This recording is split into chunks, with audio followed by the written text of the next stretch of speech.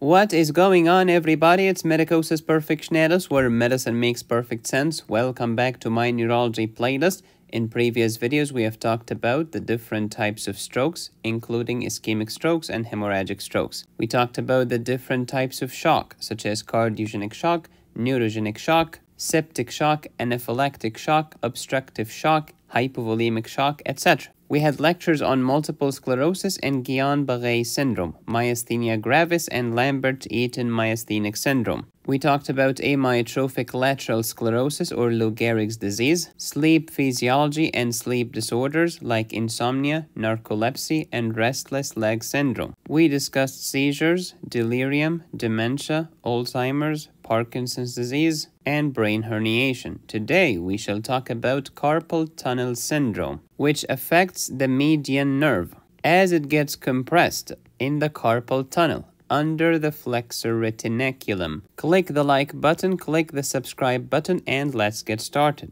I have several neuro playlists on this channel. The first one is neuroanatomy, the second one is neurophysiology, and the third most comprehensive one is neurology, which contains neuroanatomy, neurophysiology, neuropharmacology, and neuropathology.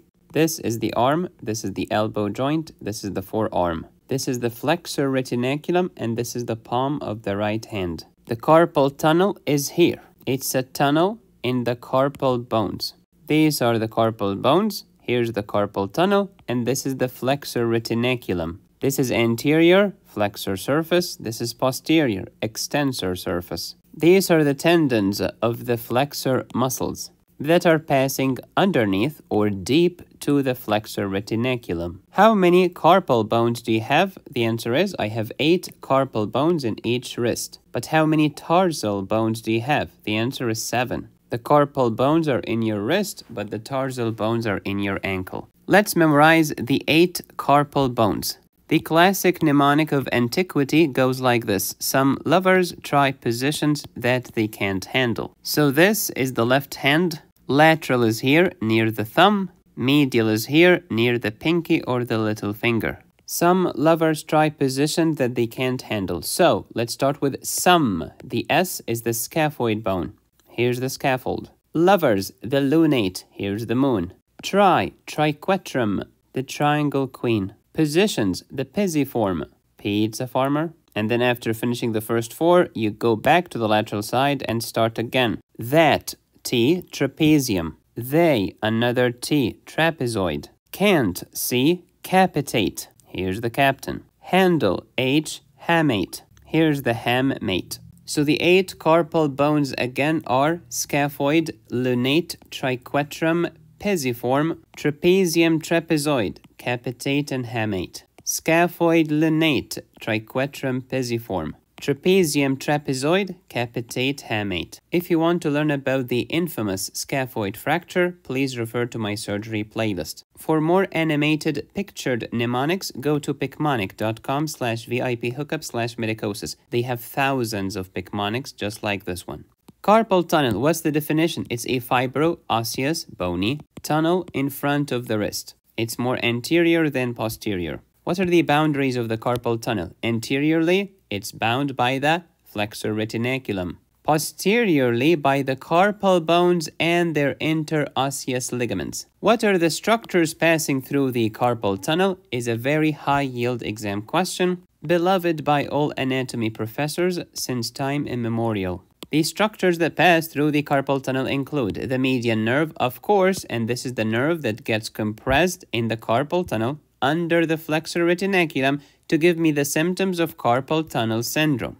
Besides the median nerve, we have eight tendons of flexor muscles, four superficial and four deep or profundus. So we have the four tendons of the flexor digitorum superficialis and the four tendons of the flexor digitorum profundus. Add to that one tendon of the flexor pollicis longus. What is the pollex? It's your thumb. How about the big toe? It's called hallux. And the recurrent branch of the deep palmar arch, which is an arterial network found in the palm of the hand. So, what's the median nerve? If you wish to see more videos like this in the future, drop a brain emoji in the comments.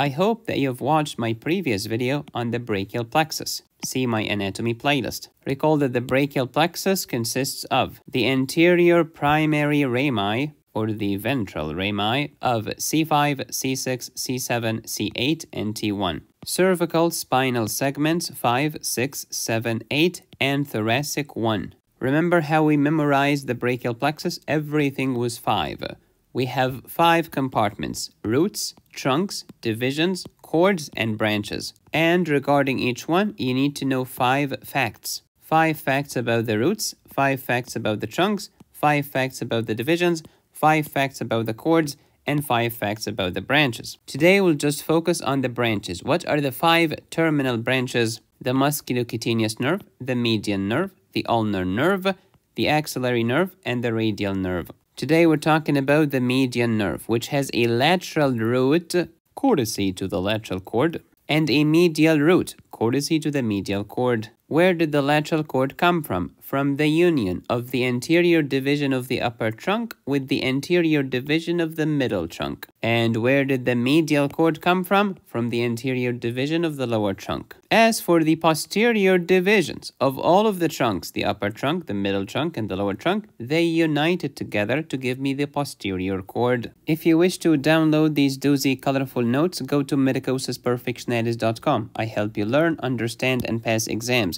If you want me to personally tutor you, reach out to me on my website. So again, we have roots, trunks, divisions, cords, terminal branches. The terminal branches are the musculocutaneous nerve, the median nerve, the ulnar nerve, and then from the posterior cord, you have the axillary nerve and the radial nerve. Which one supplies the biceps muscle? Musculocutaneous. Which nerve supplies the triceps muscle? Radial. Which one supplies the deltoid muscle? If you know the answer to this question, please comment below. Do you want more anatomy in your life? I have covered all the branches of anatomy in very high yield review videos. I have review videos for the anatomy of the upper extremity, the lower extremity, anatomy of the head and neck, anatomy of the thorax, anatomy of the abdomen, the pelvis and perineum, even neuroanatomy and embryology. You can find all of them in my anatomy playlist here on YouTube.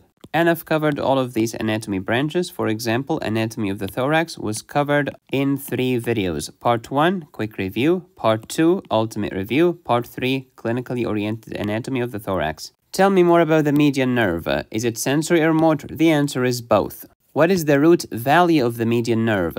What's the origin of the median nerve? Oh, from the spinal cord. Which part of the spinal cord? All of the brachial plexus. C5, C6, C7, C8, and T1. That's a big nerve. Where does it start? In your smelly armpit, the axilla, from two roots. Lateral root from the lateral cord and medial root from the medial cord of the brachial plexus. Then it has a long course, but let's just care about this part. It passes under or deep to the flexor retinaculum and into the carpal tunnel until it reaches the hands. Where does it terminate? At the distal border of the flexor retinaculum by dividing into a medial terminal branch and a lateral terminal branch. The median nerve supplies the first or the lateral three and a half fingers on the palmar aspect of your hand. So this is the palm of my hand. Median nerve is going to take care of the thumb, the index finger, the middle finger, and the lateral half of the ring finger, leaving the remaining one and a half fingers on the medial aspect for the ulnar nerve. The median nerve can get injured in many places, most commonly the following three above the elbow, below the elbow, or inside the carpal tunnel. And this is the story of carpal tunnel syndrome, which is today's video. How do I know if my patient has carpal tunnel syndrome? There are physical exam findings, and then there is nerve conduction study, and then there is electromyography, and you can use ultrasound. Let's start by physical exam. The Tinel test. What is the Tinel test? Uh, the way I remember it is that Tinel looks for tingling and numbness, okay? How do I do it? With the T, you tap. You tap on the flexor retinaculum. Tap on the median nerve at the wrist. Normal people will feel no tingling or numbness, but patients with carpal tunnel syndrome are more likely to feel tingling and numbness, or pins and needles. The scientific name for pins and needles is paresthesia. What does that mean? Well, there is normal and there is paranormal. There is esthesia and paresthesia. There is somnia and parasomnia. So what is esthesia? Esthesia means sensation. Para, parallel to. Oh, different. Different sensations. Tingling and numbness. But be very careful. The Tinel sign is not the most accurate test there is, so therefore you can find positive test result even in normal subjects. Just because the Tinel sign is positive doesn't necessarily mean that the patient has carpal tunnel. And just because the Tinel test is negative doesn't necessarily mean that the patient does not have carpal tunnel syndrome. The next physical exam finding is the Phalen sign or the Phalen test. How do you perform it? You ask the patient to flex the wrist and flex it hard. So here is one hand, here is the other hand. The, the wrist is flexed. And then what? This stretches the median nerve. And if the median nerve is already compressed because I have carpal tunnel syndrome, I will feel what? Tingling and numbness, or paresthesia, or pins and needles. Where do you feel them? In the lateral three and a half fingers of the palmar aspect of the hand. Here is everything you need to know about carpal tunnel syndrome in one slide. The history. It's more common in females than males. It affects, well, it varies from country to country, but it's about 4% of the population. Causes. Many cases are idiopathic, which means unknown cause, which means we are idiots and we cannot figure out the pathology. Because when doctors do not know the answer, they rarely admit it and say, I don't know. Instead, they will give you some buzzwords, such as idiopathic, or primary, or my favorite, functional. I cannot stand these mediocre doctors. They drive me insane. I hope they die of brucellosis. Just kidding.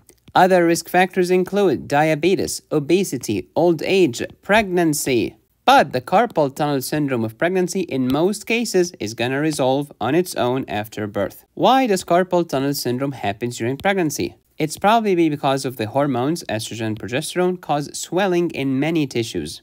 They cause vasodilation as well. To learn more about pregnancy, please refer to my obstetrics and gynecology playlist here on YouTube. Other risk factors include autoimmune diseases, hypothyroidism, occupations that involve mechanical overuse of the hand or the wrist, for example, typewriters, mechanics, and other manual occupations. But this is controversial, by the way. Some doctors do not agree that a certain occupation or another causes carpal tunnel syndrome. The symptoms include pain, tingling, and numbness. Which part of the hand? The lateral three and a half fingers on the palmar aspect of the hand. These symptoms tend to be worse at night, which can awaken me from my dogmatic slumber. Physical exam findings positive Tinel test positive Phalen test, and positive Durkan test. What is Durkan test? Instead of tapping on the median nerve, you compress the median nerve. So it's a median nerve compression test. In severe, late cases of carpal tunnel syndrome, expect atrophy of the thenar eminence. This part of the hand is called the thenar eminence, and this part is the hypothenar eminence. The elevation known as the thenar eminence is supplied by the median nerve, whereas the hypothenar eminence is supplied by the ulnar nerve. Carpal tunnel syndrome compresses the median nerve, which can lead to atrophy of the thenar eminence. And when it's that late, the motor symptoms will also include weakness of the thumbs, abduction, and opposition. How can we diagnose carpal tunnel syndrome? It's a clinical diagnosis. We can also use nerve conduction studies, electromyography, and ultrasound. What's the treatment for carpal tunnel syndrome? Activity modification. For example, if you are a typewriter, maybe use some support for your wrists while typing. Use voice-enabled dictation instead of typing, for example. Wrist splint, especially at night because the symptoms tend to be worse at night. Corticosteroid injection might help. If all of this did not work, try low-dose oral corticosteroids. Some people try non-steroidal anti-inflammatory medications like ibuprofen, but many doctors think that they do not work well for this disease. Physical therapy can help, and when everything fails, you decompress the poor median nerve from underneath the tyranny of the flexor retinaculum. Usually you make a cut or an incision in the flexor retinaculum to release the pressure from around the median nerve within the carpal tunnel. Let me tell you something important. Do we have tingling and numbness in cases of carpal tunnel syndrome? The answer is yes. So we do have sensory symptoms, but there is no sensory loss. What do I mean by this? Let's draw the same hand again. Okay, Nice. This is the palmar aspect. All right. If you ask your patient, dear patient, close your eyes, okay? And then you're gonna touch the patient here. The patient will feel it. Touch the patient here. In the distribution of the median nerve, the patient can feel it. Here, here, the patient can feel all of this. So there is no sensory loss. There is just paresthesia. And why is this? Because the palmar cutaneous branch of the median nerve did not pass within the carpal tunnel under the flexor retinaculum. So therefore, the palmar cutaneous branch of the median nerve is spared in cases of carpal tunnel syndrome. We just said that NSAIDs do not work too well for this disease. If you decided to try them, do not try them during pregnancy. Why is this? Why is ibuprofen a bad idea during pregnancy? If you know the answer, please comment below. Carpal tunnel syndrome is relatively common during pregnancy. To learn more about normal changes of pregnancy and diseases that happens in pregnancy, download my obstetrics and gynecology high yields course at medicosisperfectionalis.com. It comes with videos, notes, and cases. To learn about the antibacterials, antivirals, antifungals, and antiparasitic medications, download my antibiotics course at medicosisperfectionalis.com. To learn about myocardial infarction, strokes, cardiac arrhythmias, ARDS, acute limb ischemia, drowning, and the toxidromes, download my emergency medicine high yields course. If you value what I do, help me make more videos by supporting the channel. Go to buymeacoffee.com slash medicosis. There are more than 600 premium videos available on this channel when you click the join button and choose the highest tier. Please subscribe, hit the bell, smash like, support my channel on Patreon, PayPal, or Venmo. Go to my website to download my courses, notes, and cases, or if you would like me to personally tutor you. Be safe, stay happy, study hard. This is Medicosis Perfectionalis, where medicine, chemistry, math, and physics make perfect sense.